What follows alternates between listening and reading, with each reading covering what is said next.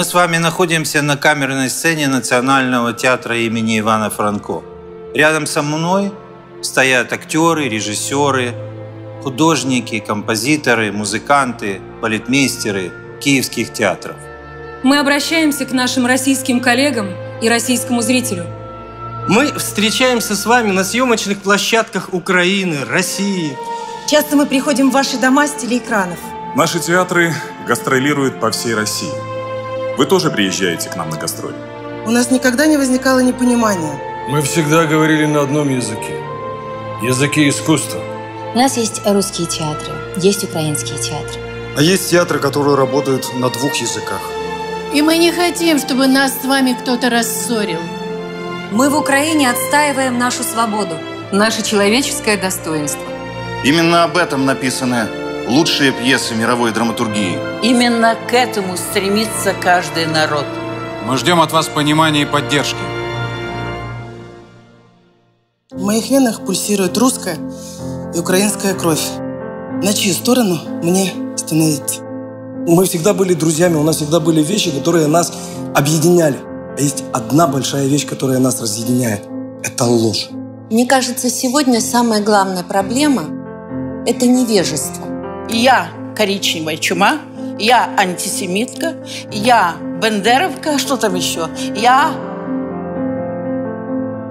фашистка, да? Фашистка. Вот я. Вся информация об Украине неверная. Умоляю, россияне, у вас есть компьютеры? Посмотрите. Мне очень обидно, что вы делаете выводы о тех людях, о моих близких, которых вы даже не знаете. Мы бы не хотели с вами ругаться, а тем более воевать. Мы всегда были одной семьей, а в семье не должно быть разногласий. Я вас помню, люблю, и мы едины. Мне всего 27 лет. Почему-то очень хочется жить. Давайте жить дружно. Я люблю свою страну.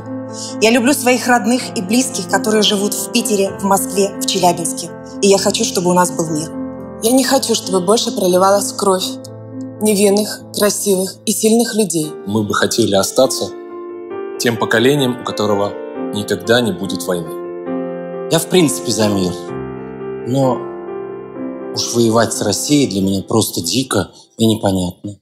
Всякий раз во время съемок с нашими российскими коллегами между нами завязывается дружба, любовь и очень теплые отношения. И поскольку снимаемся неоднократно, то встречаемся как самые лучшие друзья. Я дочь офицера.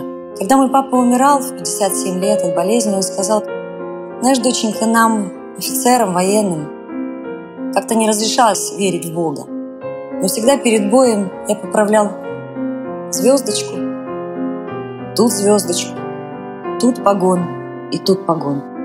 И шел в бой. Папа, когда приходил, очень крепко-крепко меня обнимал, сильно-сильно и долго меня целовал.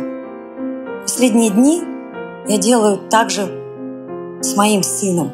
Я почему-то его сильно-сильно обнимаю. Много-много целую. Если политики не могут договориться о мире, тогда будем говорить мы.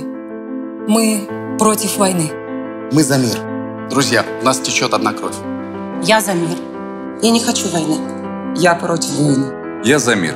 Я не хочу воевать. Мы хотим, чтобы наш ребенок никогда не увидел войну. Русские и украинские народы – это братья. Мир нам всем. Я хочу вам музыкально показать, что мы можем быть вместе.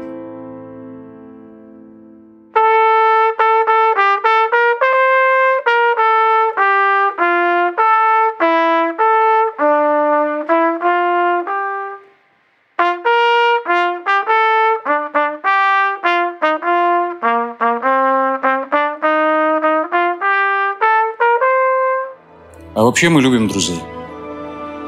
Поэтому давайте будем друзьями. Приезжайте. У нас на всех хватит и теплого моря, и неба, и большого широкого стола. Приезжайте. Как говорит Роман Виктюк, моя родина – сцена.